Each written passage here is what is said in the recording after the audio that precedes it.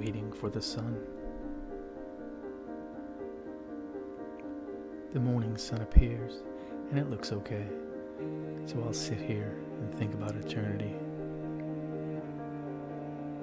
I wonder where the demons are as I soak in an angry sea of serenity mixed with sanity, staring into infinity.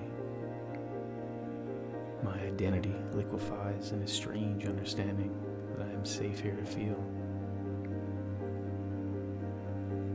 Is this passing sensation real, or did I somehow make a bizarre deal with the orange devil to conceal my loneliness? I need more time to ease my mind, but the lions are coming for me now. The irony of the dichotomy in the symphony of this duality is that I somehow think I can still fall in line and remain in harmony. It's so hard to live knowing life is a blatant lie that I continue to move through, tossing and turning in predetermined daylight hours. I know I must let the beauty go to fight another day, so I'll pretend to be alright hoping to invite the insight to find me tomorrow.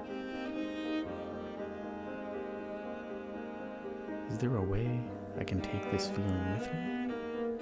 Should I wait for another sun become it?